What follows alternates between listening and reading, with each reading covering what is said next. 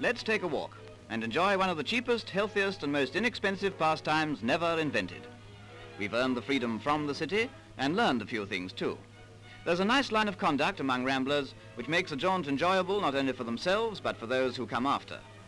Shutting gates and keeping to the path are two little points in the Rambler's Code that should always be observed. So please take notice.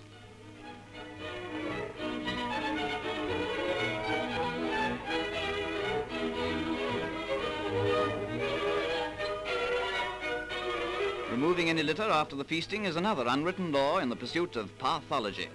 And good ramblers always leave the scene just as they found it. In rambling, especially on short journeys, brevity is the soul of kit. And it's always as well to have a little air between shoulders and rucksack, if it otherwise fits snugly. For long weekends, a larger frame type of rucksack will be more comfortable. To make the when justify the means, it must be off the beaten track.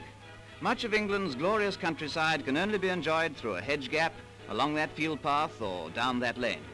And don't wear silk stockings, says Tom Stephenson, open-air correspondent of the Daily Herald. Since feet are very much in evidence, footwear is another important consideration. Good quality leather boots and shoes with reasonably stout soles, the feet encased in woolen socks are the order. Rubber shoes can be treacherous in wet weather. A few light hobnails are an advantage, even for easy walking. Heavily nailed boots are advisable for rough mountain work. But on downs, there's so much useless iron. So choose your boot to suit your route.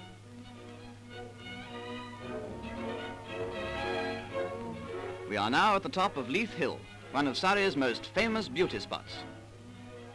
As for maps, you can't beat the Ordnance Survey. They're absolutely reliable and show all those off-the-highway haunts the true rambler loves to explore. Be a rambler and enjoy life.